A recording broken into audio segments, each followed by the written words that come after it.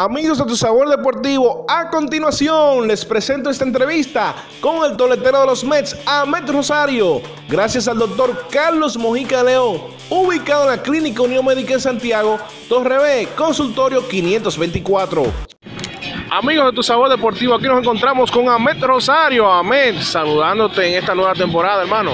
No, no, no, gracias a ti y saludos igualmente. Sí, Ahmed, te hemos visto ido de menos a más esta temporada. Empezaste un poquito lento, pero hemos visto que ya el bate tuyo está ardiendo.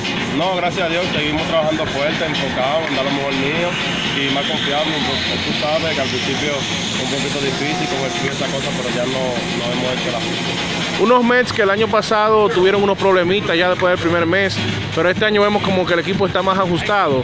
¿Las nuevas integraciones han hecho efecto? Creo que sí, creo que eso ha sido parte y la salud Creo que eso fue el factor fundamental en el cual el año pasado no hizo daño. Creo que si el equipo se mantiene en salud, el equipo podría estar dando la batalla.